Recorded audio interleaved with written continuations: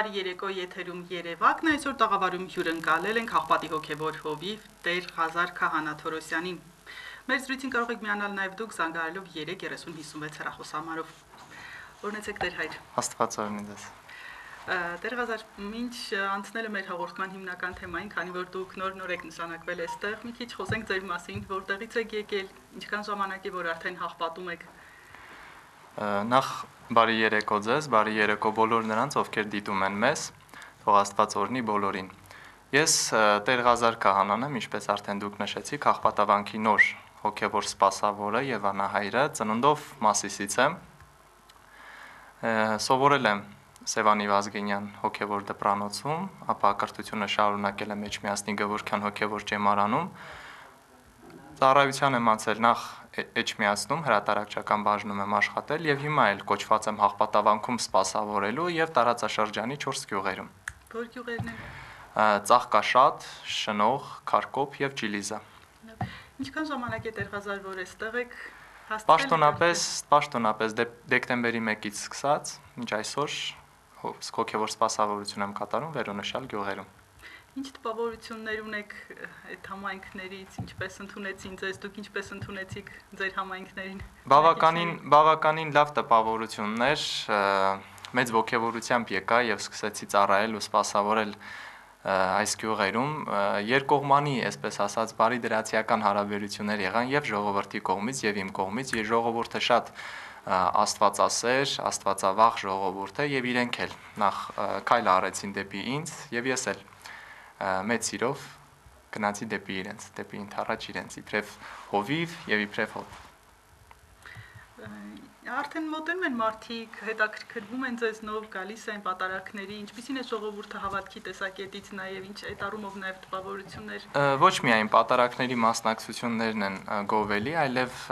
եկեղեցունքից տարբեր միջոցառումների իրենց ակտիվ մասնակցությունը, թե բանակի օրվա հետ կապակցությամբ, թե գալիք տոների կապակցությամբ առաջիկայում Սուրբ Սարգիս Զորավարի տոնն է եւ նույնպես պատրաստել ենք որոշակի միջոցառումներ, որին արդեն իսկ գյուղի ժողովուրդն էլ հետաքրքրասիրությամբ մոտենում է, հարցնում է, թե ինչպես պետք է լինի, ինչ է պետք անել, ինչպես կարող են անգամ իրենք օգնել եւ դա էլ է գովելի եւ ողջևորող նաեւ մեզ։ Տերղազար, ինչպես է կարգը։ Ձեզ նշանակել են թե դուք ձեր ընտրությամբ եք եկել այստեղ Մեզ նշանակում է ամենայն հայոց կաթողիկոսը որևէ թեմի, մենք չենք կարող, այսպես ասած, մեր որոշել, մեր կարծիքը արտահայտել։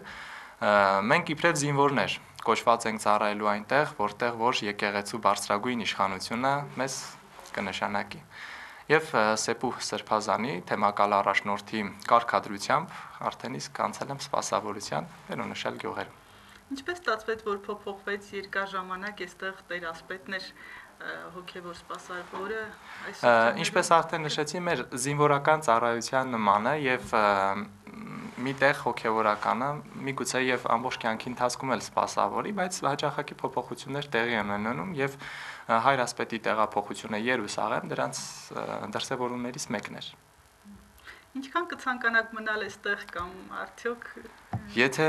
իսկապես, եթե Աստված հաջողի, աղոթում եմ առ Աստված, որ ամբողջ կյանքիս ընթացքում այստեղ մնամ, որովհետեւ թե վանքը, թե եկեղեցին, թե ժողովուրդը, թե ընդհանրապես մտնոլորտը լորեցիների տրամադրվածությունը այնպես ջերմ էր, այնպես մոտիկ հարաբերություններ ձևավորվեցին, որ կցանկանամ մինչև մինչև կյանքից վերջնել այստեղ սպասավորել։ Լավ, շնորհակալություն։ Դեր Ղազար, արդեն պատարակներ լինում են եկեղեցում արդեն անցեք պատարակներ արել եք։ Իհարկե, իհարկե յուրաքանչյուր Կիրակի պատարակներ ենք մատուցում, նաև ժամերգություններ են կատարում, որոշակի հոգեհանգստներ տեղի ունեցան տարբեր օրերին, նաև Կիրակի օրերին Գյումրում տեղի ունեցած այդ ցավալի դեպքերի կապակցությամբ փորձում ենք հնարավորինս ակտիվ հոգևոր կյանք ձևավորել եւ զարգացնել գյուղում, որովհետեւ գյուղացիներն էլ բացի իրենց առօրյա զբաղմունքներից ունեն նաեւ կտրվելու այլ հնարավորություններ, աստծո հետ շփվելու առիթներ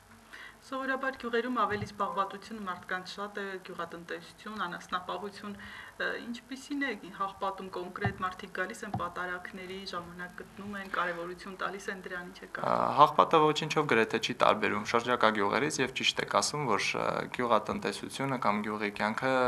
միգուցե նաեւ խոչընդոտ հանգամանք է, որpիսի parberabar հաճախեն, սակայն կան մարդիկ, ովքեր իսկապես parberabar հաճախում են, իսկ մնացածը ըստ առիթի։ Ինչ նպատակներ ունեք, ինչ ծրագրեր ունեք այստեղ։ Դեռ վաղ է, վաղ է խոսել որևէ ծրագրի մասին, որովհետև նախընտրում եմ ավելի շատ անել, քան թե խոսել դրանց մասին, բարձրաձայնել դրանց մասին դա ձեր աշխատանքն է, դրա դա լուսաբանելը, մեկնաբանելը։ Ես հնարավորինս դեռ երիտասարդ եմ, երանդով լեցուն եւ ամեն ինչ անում եմ, որպիսի հավուր պատշաճի ներկայացնեմ թե հոգեվորականությունը, թե եկեղեցին։ Լավ։ Դեր Ղազար վաղը նշվելու է հայերի սիրելի սրբերից մեկի Սուրբ Սարգիս Զորավարի տոնը։ Ինչպես եք դուք պատրաստվում դրան, ինչպես է նշվելու հաղպատում։ Միջև Սուրբ Սարգիս Զորավարի թե կյանքին, թե իր ամբողջ վարքին անցնելը մի փոքր խոսենք, թե ինչ է նշանակում առհասարակ բարեխոսություն, սրբերը ինչի համար են, եթե այսպես ասած կա Քրիստոս, որը բոլորի բարեխոսն է, բոլորի միջնորդն է Առհասարակ սրբերը մեզ նման անznավորություններ են, ովքեր իրենց կյանքի ընթացքում իրենց վարքով փառավորել են Քրիստոսին, փառավորել են Քրիստոսին իրենց սեփական վարքով։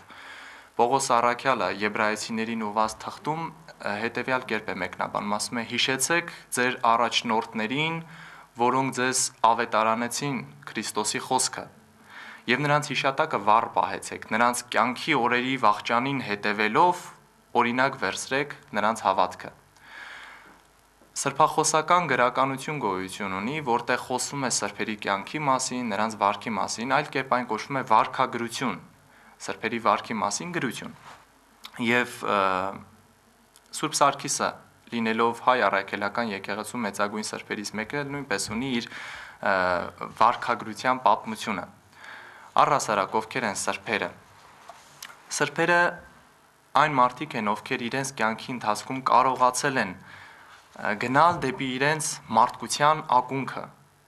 դեպի հին կտակարան, դեպի արարչագործություն նմանվելով Աստծո կողմից ասված մարդ ստեղծենք մեր պատկերով եւ մեր նմանությամբ։ Նրանք հասել են այն Քրիստոսի պատվերանին, որ ասում էր կատարյալ եղեք, ինչպես ձեր երկնավոր հայրն է կատարյալ։ Եվ իրենց կյանքով, իրենց վարքով մարդ իրոսանալով, նահատակվելով արժանացել են Աստծո բարեհաճ վերաբերմունքին եւ արժանացել են Աստծո աճ կողմը բազմելու պատվին։ Սուրբ Սարգիս Զորավարը 4-րդ դարում Հունաստանում ապրում էին բարեպաշտ ընտանիք, որի զավակն էր Սարգիսը։ Կոստանդիանոս մեծ կայսեր թակավորության ժամանակ նա զորակոչվում է բանակ եւ ծառայում է հռոմեական բանակում եւ շատ կար ժամանակում իր ռազմական հաջողությունների շնորհիվ կարգվում է իբրև զորավար, զորքերի գլուխ բազմաթիվ հաղթանակներ է տանում եւ սիրահարվում է Սուրբ Սարգիսը իր քաղաքում իշխանի դստերը։ Սակայն իշխանը չցանկանալով իր իր դստերը ամուսնության տալ քրիստոնյա քրիստոնյա բարեպաշտ Սարգսին, քանի որ նա էլ հեթանոս էր, կռապաշտ էր, ցանկանում էր հերու պահել նրան դստերը եւ Սարգիսը չկարողանալով հասնել իր սիրելիին, որ պայմանը սա էր, պետք է հրաժարվեր քրիստոնեությունից եւ ընդուներ հեթանոսությունը եւ չցանկանալով հրաժարվել Քրիստոսից հրաժարվում է իր սիրելի անznավորությունից։ Բայց աղոթքով առաստված կարողանում է այնպես լինել, որ երկու սիրող սրտեր միանան միմյանց եւ աղախինը իշխանի աղախինը, բարեպաշտ հայուհի աղախինը կարողանում է այնպես անել, որ դուստրը ծպտված իր իսկ սեփական հագուստով դուրս գա պալատից, հանդիպի Սարգսի հետ եւ միասին ապրեն իրենց հետագա կյանքը։ Սուրբ Սարգիսը Կոստանդիանոս մեծ կայսեր հրամանով զորակոչվելով բանակ ծառայության է անցնում Հայաստանի սահմանապի սահմանակից Կաբադովկյան Կեսարիայում եւ կար ժամանակում վայելում է նաեւ այնտեղի բնակչության սերը, հարգանքը Սուրբ Սարգիսը ընդհանրապես աչքի էր ընկնում իր բարեպաշտությամբ, աղքատներին օգնելով, հիվանդներին նաեւ խնամելով եւ վայելում էր բոլորի հարգանքը, սերն ու պատիվը։ Կար ժամանակ այդտեղ ծառայելով նա Կոստանդիանոս մեծ կայսեր մահվանից հետո նրան փոխարինում է իր եղբայրը Կոստանդինը եւ որի կարճ թակավորությունից հետո արդեն գահին է բազում Հուլիանոսը, որը մերժելով քրիստոնեությունը եւ վերադառնում է հին հռոմեական արմատներին հեթանոսությանը եւ ժողովրդի կողմից վաստակում է նաեւ ուրացող Հուլիանոս ուրացող մականունը։ Եվ 361 թվականին գալիս է բազմում է կասերական գահին միջև 363 թվականը։ Այդ ընթացքում նա հետապնդում է Այդ ընթացքում նա հետապնդում է Սուրբ Սարգսին եւ Սարգիսը խույս տալով գնում է Հայաստան եւ մեծ պատիվ է իր համար համարում քրիստոնյա ժողովրդի մոտ ծառայության անցնել։ Այդ ժամանակ Տիրան արքան էր թակավորում Հայաստանում եւ Տիրանն էլ մեծ սիրով ընդունում է Սարգսին եւ իր զորքերից մեկի ղեկավարությանն է հանձնում։ Եվ Հուլիանոս մեծ կայսրը Հուլիանոս ուրացող կայսրը արշավանքով գալիս է դա շրջաներ եւ Տիրանը խուսափելով արճակատումից խորհուրդ է տալիս որպեսի Սարգիսը գնա հարևան Պարսկաստան շապուհ արքայի մոտ Շապուհ արքան նույնպես տեսնելով Տիրանի նամակը որը տրվել է Սարգիսի հետ մեծ սիրով է ընդունում նրան եւ նույնպես զորավարի պաշտոն է տալիս երկար ժամանակ պաշտոնավարելուց հետո երկար պատերազմներում հաղթանակելուց հետո նույնպես մեծ վաստակ է ձեռք բերում Պարսկաստանում եւ նրան չսիրող անձինք շապու արքայի մոտ նենգախոսում են նրանից եւ շապու արքան կանչում է նրան եւ ստիպում է որպիսի զոհ մատուցի իրենց չաստվածներին Սարգիսը հրաժարվում է եւ բոլորի ներկայությամբ կոտրելով իրենց բագիններին, մարելով կրակը հրաժարվում է։ Այդ ժամանակ խուրներամ ամբողը հարցակվում է Սարգսի եւ իր որդու Մարտիրոսի վրա եւ այդ ամբողին առաջինը զոհ է գնում Մարտիրոսը իր որդին։ Եվ Շապու արքան չի թողնում որպիսի Սարգսին սպանեն, այլ բանտարկում են եւ բազում տանջանքների ենթարկելով ստիպում են որպիսի նա կրոնափոխ լինի, որը իրենց մոտ չի հաջողվում եւ տեսնելով որ ոչինչ գլուխ չի գալիս հրամայում է որպեսի քաղաքի դարպասներից դուրս հանեն եւ դահճին հրամայում է որպեսի նրան գլխատեն Սարգիսը աղոթում է նրան աղոթում է Աստծուն որպեսի ների բոլոր նրանց մեղքերը ովքեր իր հանդեպ այս ոտնձգությունն են կատարում եւ գլխատվում է գլխատվելուց հետո 14 զինվորներ, որոնք Սարգսի քրիստոնյա եղբայրներ են, գալիս են եւ սպիտակ սավանով փաթաթում են նրա մարմինը եւ Շապու արքան իմանալով դրա մասին հրամայում է, որպիսի 14 զինվորներին էլ սպանեն։ Թաղվում է, թաղվում է Համյան քաղաքում, Պարսկաստանի Համյան քաղաքում, նահատակվում է 361 թվականին հունվարի 31-ին եւ քանի որ Սարգսի տոնը շարժական է Սուրբ Ծննդի հարության տոնի հետ մեկտեղ շարժական է այն լինում է առաջավորած պահքի վերջի օրը ժողովուրդը շատ շատ աջախ առաջավորած պահքը սխալմամբ կոչվում է նաեւ Սուրբ Սարգսի պահք բայց այ առաքելական եկեղեցի որևէ սրբի հետ պահքի ժամանակահատված չունի Սուրբ Մեսրոպ Մաշտոցի կողմից Համյան քաղաքից տեղափոխվում է Սուրբ Սարգսի մասունքները Արագածո տնգավառի Ուշի քաղաքը եւ այդտեղ էլ Ուշի գյուղը եւ այնտեղ էլ կառուցվում է Սուրբ Սարգիս համանուն եկեղեցին եւ մի մասն էլ տեղափոխվում է Գագ Գագամրոց։ Եվ 361 թվականից սկսված Սուրբ Սարգիսի հիշատակությունը, Սուրբ Սարգիս Զորավարի հիշատակությունը կատարում են նաև հայ առաքելական բոլոր եկեղեցիներում եւ Սուրբ Սարգիս անունը կրող եկեղեցիներում մատուցվում է Սուրբ Պատարագ,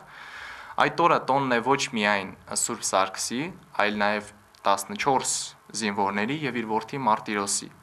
եւ բոլոր նրանց, ովքեր կրում են Սարգիս անունը։ Իրենց բարեխոս Սրբի հիշատակության օրը նաև իրենց անվանակոչության տոնն է։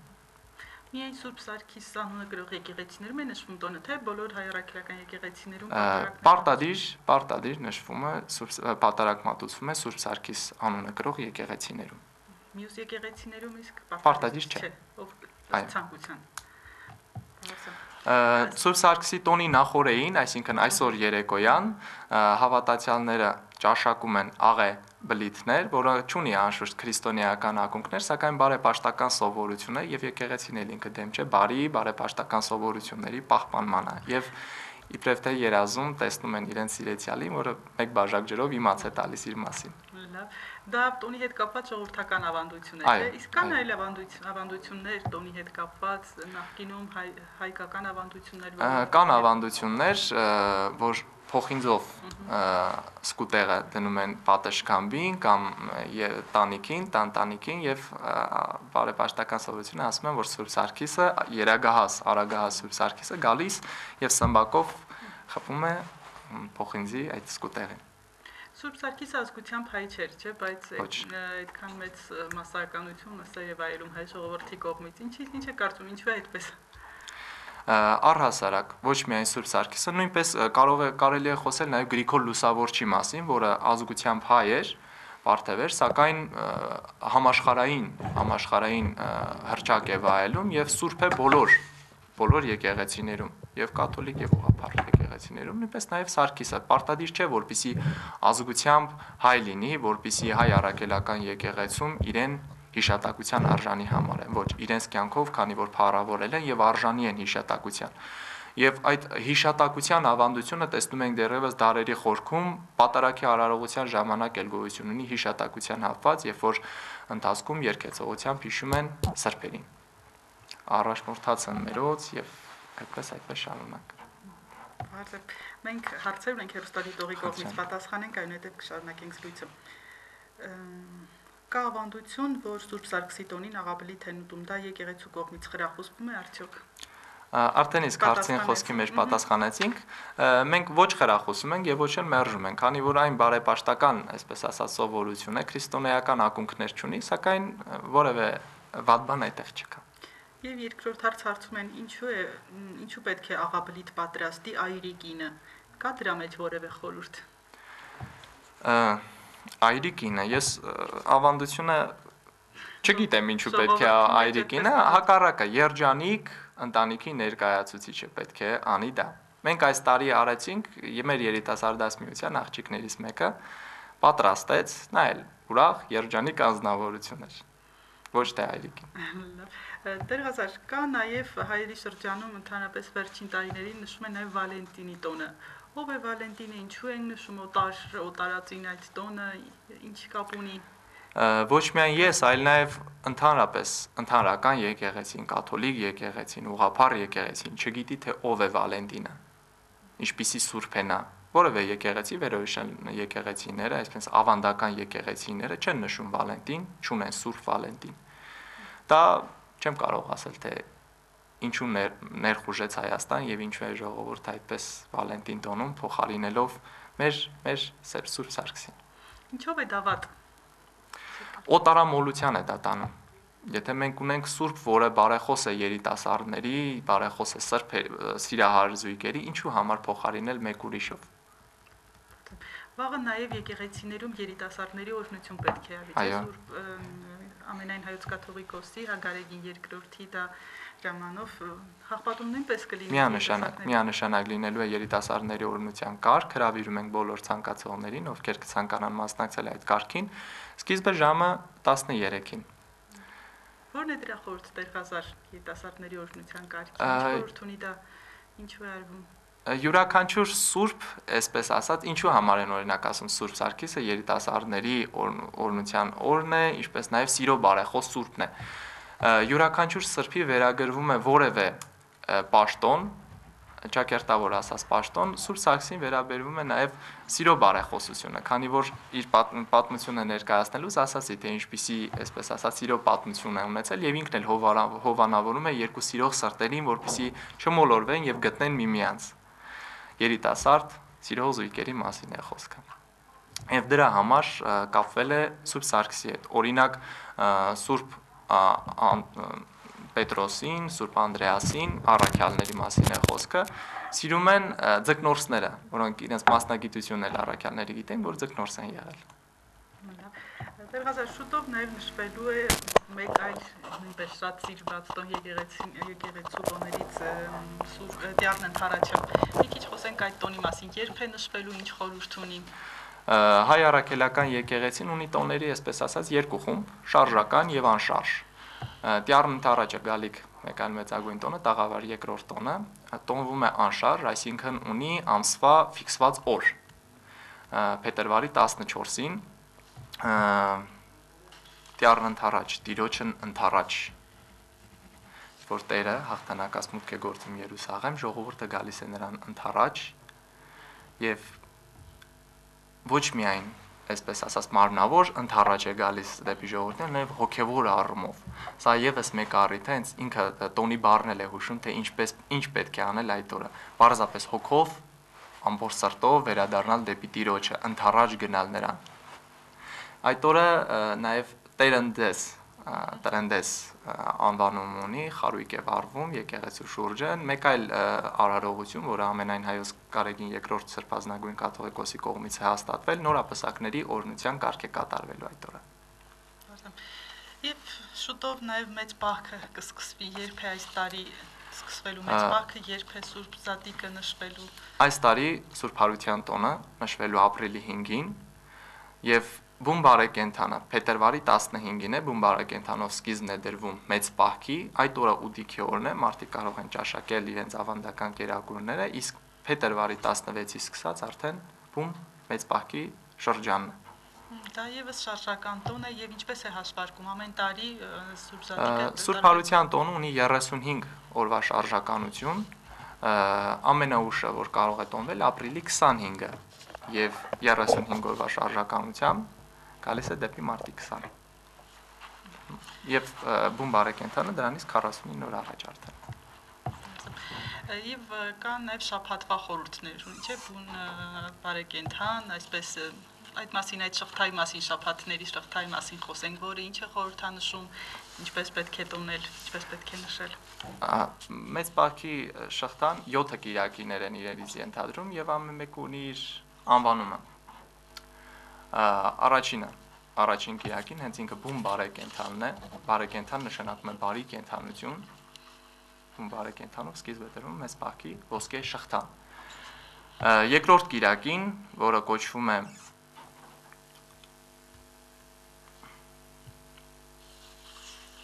լավ անցնենք մենք հարց ունենք պատասխանենք հարցին այնուհետև կշարունակենք մեծ բակին ինչ չի թույլատրվում անել մեծ բախքին եկեղեցու հայրերը խորհուրդ են տալիս հրաժարվել որոշակի ճաշատեսակներից, կենթանական ցակում ունեցող կերակուրներից, իբրև մարմնի ժուշկալության նշան։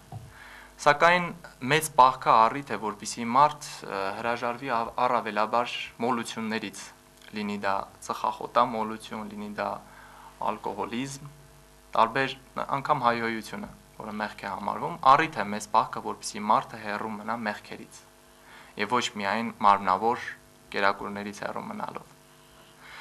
Պարզապես մարմնավոր կերակուրներից հեռու մնալը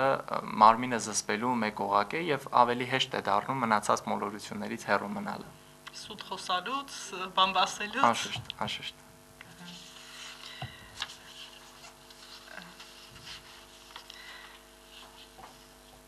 մեր հերոստատիտողի հաջորդ հարցը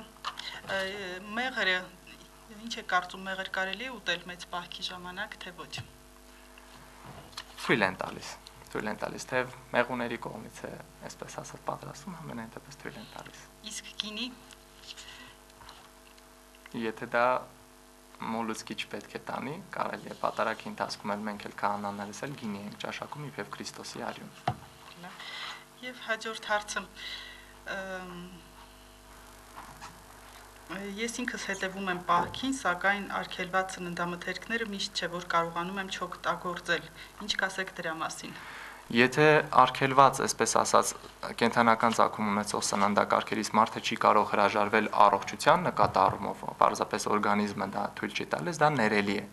Նորից եմ կրկնում, պահքը ոչ միայն պետք է սննդով լինի, այլ նաև հոգևոր առումով։ Նախ հոգևոր եւ ապա մարմնավոր։ Ավելի լավ է հրաժարվել տարբեր այսպես ասած ված սովորություններից, եթե կանայք են բամբասելուց, չարախոսելուց, նմանատիպ վատված սովորություններից, քան թե սննդից։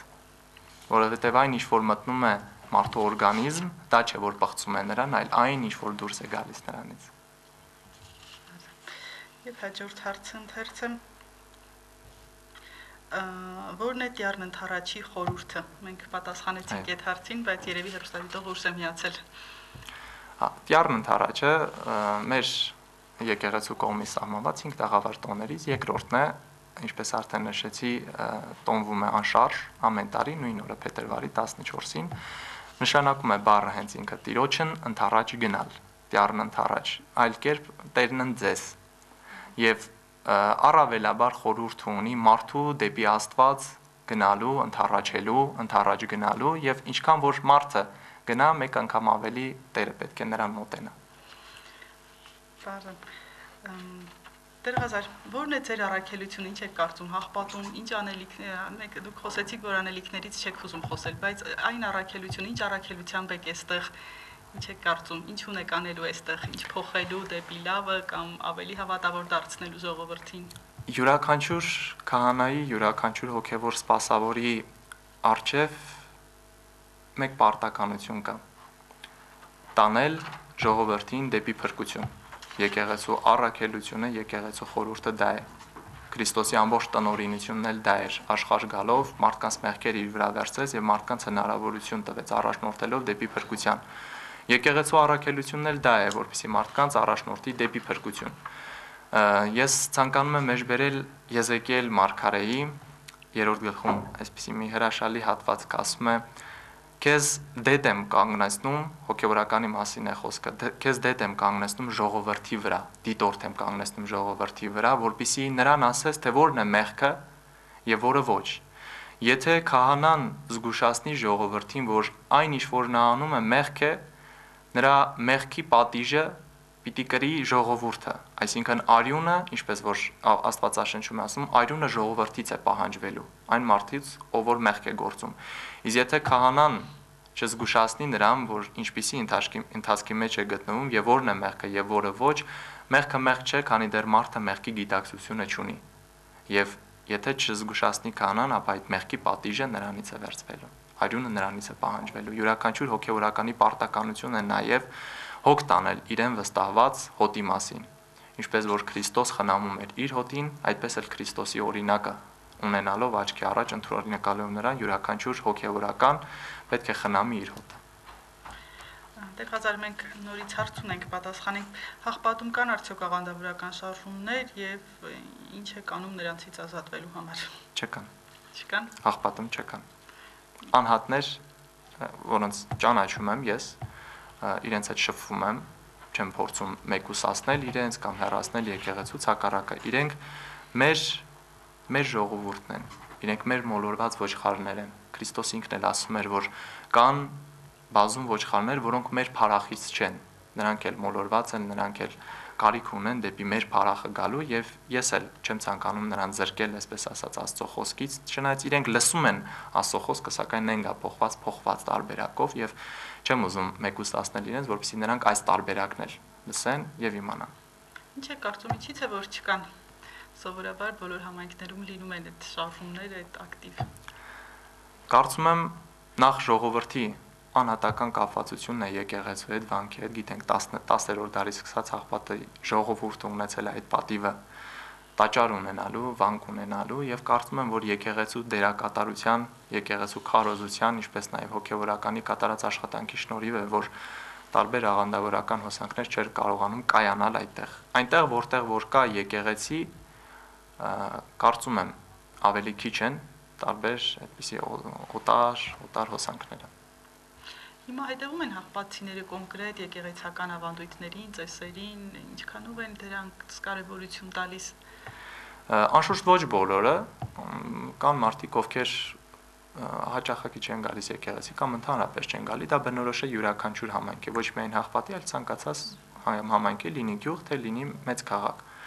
բայց մեծ մասը, զգալի մասը գյուղի գալիս է, մասնակցում է, իրենք էլ արդեն իսկ ողջևորված են տարբեր արարողություններով։ Շատ աշխուժություն է նկատվում երիտասարդների շրջանակներում։ Եվ դա է ողջևորեցնող։ Գործում է նաև երիտասարդաց միություն, եկեղեցասեր երիտասարդաց միություն։ Ինչ գործունեություն են նրանք իրականացնում, ինչով են զբաղվում իրենք իրենց ծրագրեր ունեն, որոնք parberabar կատարում են, նաև քարոշչության, այսպես ասած, տարբերակով, բացի երիտասարդաց միությունից, հաղպատ ունի նաև պատանեկան միություն, երշախումներ եկեղեցու, հենց հենց այդ պատանեկան երիտասարդաց միության երեխաներն են, շնորհալի երեխաներն են, որոնք Հա, ունեն երկելու շնորհվոմանք, ունեն կազմակերպչական ձիրք եւ ամեն մեկը փորձում է եկեղեցուն ծառայել, եկեղեցուն սպասավորել, իր ավանդը ներդնել եկեղեցու զարգացման գործում իր հնարավորությունների, իր շնորհների շրջանակներում։